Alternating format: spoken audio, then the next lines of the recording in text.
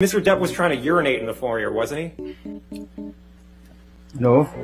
Mr. Mr. Depp had his penis out of his, pa- out of his Objection. pants, didn't he? I think I would remember Relevance. seeing Mr. Depp penis. Uh, I'll allow it. Next question. And you were trying to get Mr. Depp out of the house, correct? Correct, I was trying to get Mr. Depp out of the house, yes. And Mr. I think uh, Jack Sparrow was more drunk than Johnny Depp, to be honest.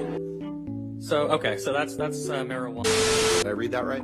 Yes, but you That, need to that, defi- that was you my need to find the just if term. I read that right, sir. Now, part of the services that you provide, that your firm provides to Mr. She's giving you gifts over $8,500, correct? $8,500. Yeah. You gave me a lot more than that. Okay.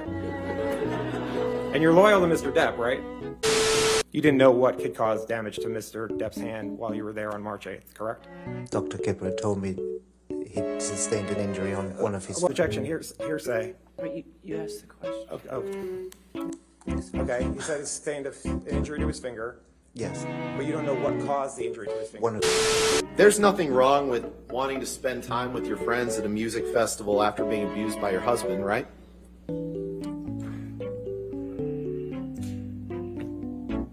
What abuse? I was say, you really you think someone's trying to get into your unit? There's scratches like four inches above your the floor and your door. That was the dog trying to get into the unit. And they were so afraid. Oh, someone's trying to get into my unit. They're like, oh, come on, really? We don't have cameras in the videos. Um, I'm sorry, we don't have cameras at the hallway. We don't have cameras on the hallway. I'm gonna, so the mm. incident was May 21st.